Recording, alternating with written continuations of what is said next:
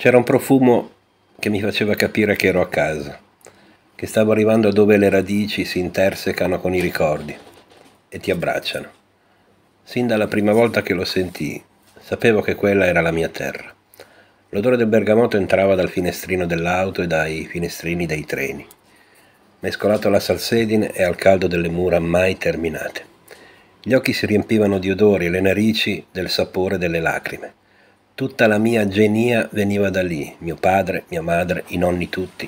Una volta si chiamava Italia, abitata dagli Itali, oggi si chiama Calabria.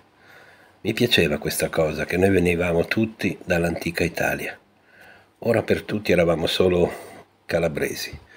La storia era più o meno la stessa per tutti, cambiava solo la destinazione, per qualcuno era Torino, per qualcun altro Roma, Milano. Ecco, per la mia famiglia fu Milano. Nato e cresciuto nella periferia sud della città. Si è sempre a sud di qualcuno, ma quel profumo ogni volta mi restituiva alla lingua, al grecanico. Riempiva e bagnava le gote. Il profumo dell'emigrazione non è mai stato lo stesso del profumo delle radici. Crescere. Crescere ogni giorno con la consapevolezza di appartenere a un mondo dentro le mura di casa e a un altro mondo fuori da quelle mura un dialogo continuo fatto di domande, di scoperte, di andate, ritorni. Io non mi sentivo figlio di emigranti, mi sentivo più semplicemente figlio di una circostanza.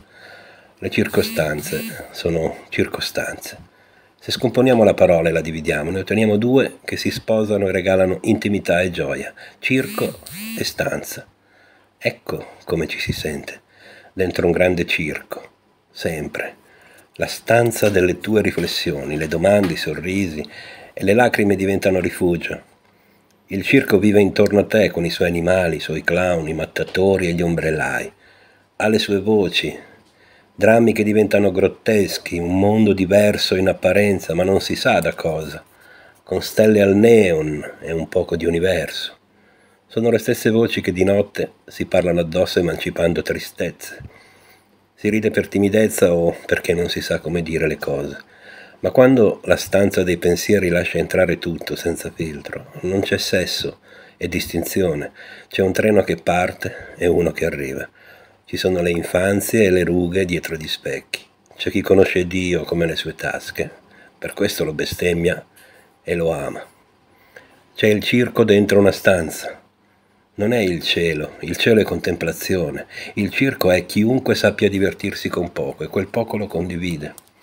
La carità, diceva Jack London, non è donare qualcosa quando ne hai di più, è condividere anche quando hai meno di chi ha bisogno, ma tu in quel momento ce l'hai. Ecco il mondo delle periferie di ogni centro.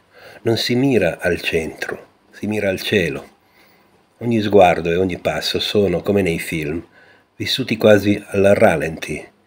C'è una colonna sonora fatta di rumori e respiri, clacson, saracinesche che salgono e scendono, sirene da galera e da ricovero. La musica accompagna questo spettacolo perpetuo. Nel cuore di ogni ragazzo, fuori e dentro il circo, c'è sempre una domanda che sovrasta tutte le altre. Perché? Come quando si è bambini e si chiede continuamente. La curiosità, che è vita, il perché delle cose, delle voglie che arrivano improvvise, ti ritrovi ad abitare i libri per fuggire, a scrivere le risposte che non ti sai dare, a dare voce alle voci negli occhi dei tram, a ballare i silenzi delle trombe delle scale e le salite degli ascensori, a scoprire che tuo fratello è figlio unico, che Gianna aveva un coccodrillo e un dottore, che tu, essenzialmente tu, sei l'ombra che ti fa sorridere, escluso il cane. Ti ritrovi un giorno quindicenne a piangere, una mattina di giugno, senti il profumo di bergamotto, lo senti ancora, più forte di sempre. Senti che le radici hanno lottato e lottano con il ritorno. Vedi un sorriso sporco di sale, cominci a capire perché. Hai vissuto anche di espedienti, hai mostrato anche i denti, non potevi vivere altrimenti.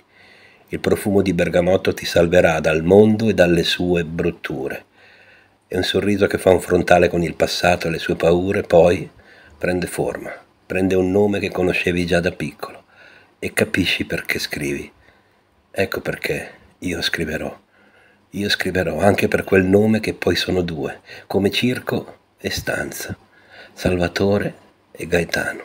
Salvatore, Gaetano. Rino per tutti. C'è profumo di bergamotto. Adesso.